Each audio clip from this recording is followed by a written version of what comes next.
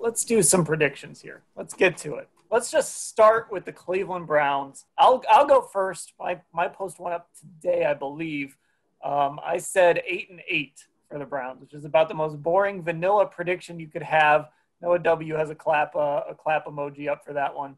Um, I, I think eight and eight, and I think that's okay. If this team is eight and eight at the end of the season, I'm all right with that. That means you were in contention for most of the year with seven playoff spots. Um, I'm fine with eight and eight. Terry, have you made your prediction yet? Well, you ought to go and take mine first. We, yes, see, that's why I went first. Um, yes, and especially I want to see how the first eight games look compared to the second eight, because uh, I really expect a lot of progress to be made. Uh, and as I wrote a column today, uh, I just don't want there to be a an embarrassing football team. We just got so tired of all the penalties and all the drama and all that garbage. Uh, well, it's supposed to be smart, tough, accountable. Remember that. Kept hearing that over and over. Let's see what it looks like. Um, and so they are that, and they go eight and eight. Um, at least that will be progress. And you're not sitting there going, "Oh, they got to get another quarterback." Um, in the chat, Bud has said nine and seven. Uh, Roman, I hope I'm saying that right, ten and six. Uh, Jason says he hates himself for this, but seven and nine. Uh, is that the Jason sitting there in the Nick Chubb jersey who, uh, who sent that one in? Uh, Joseph nine and seven and a wild card win, and, and Tom Bays is on board uh, with the eight and eight. Mary Kay, what's uh, what's your pick?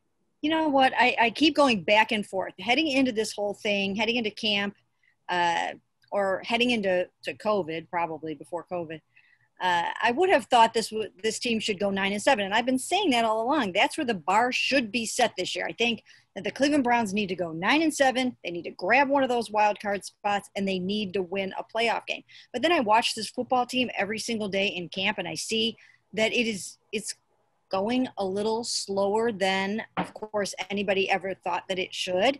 Baker Mayfield's taking a little bit of time to learn new footwork, new terminology, new players find some touch on the ball. Dan and I were talking about this a little bit er- earlier today.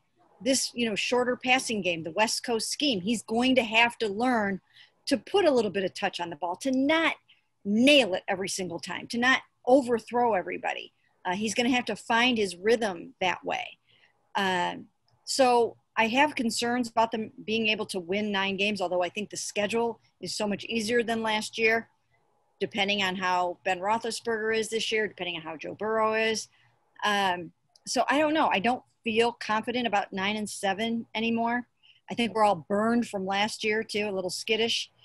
Um, so I, I'm feeling eight and eight a little bit more than I am nine and seven right now. But I haven't really sort of written my why I think the Browns are going to go what and what. So I'm I don't want to be held to it tonight. It's going to be one of those two. I, I said nine and seven with my super scientific uh, method. It just sounds. I mean, it sounds about right. I put up a poll today, and, and nine and seven was was leading, ten and six was second, and eight and eight. So everything I found, and even even national sites that are predicting uh, records at this point, it's it's always between seven and nine and nine and seven. Like that's pretty much where the the standard expectation is for the Browns this year. Um, but if you go nine and seven, then you're probably putting yourself in a position to be in some sort of tiebreaker for a wild card spot because there is that extra spot this year for the playoffs. So, you know, nine and seven in, in previous years maybe didn't sound so great, but nine and seven this year could get you in the playoffs, and you know, from there anything can happen. Just get in the tournament, Ellis. Yeah, I was I was at eight and eight before we saw a lot of choppy practices, before we saw a lot of important injuries on defense and that'll drop me down to seven and nine. I, I really agree with Terry that optics matter. Uh, you can't have games like at Arizona, uh, in San Francisco, or even at Cincinnati last year. You, you can't lose like that. Be a Tennessee. Yeah, t- yeah be a competitive. I was going to say, yeah, be a competitive road team, but of course, don't get embarrassed at home. Those types of things are really important. And furthermore, on the eight and eight, uh, when I wrote about Kareem Hunt and Nick Chubb being the focal point of this offense, there's data that backs up that if the Browns attempt to lead the league in rushing attempts, they can find a way to an eight and eight season, and that would make Browns history for a first year head coach since the, the Haslams bought the team. But again, because of the injuries, because of the choppy practice we've seen, and, and of course that scrimmage, it, it's seven and nine for me with the back half of the season looking a lot better.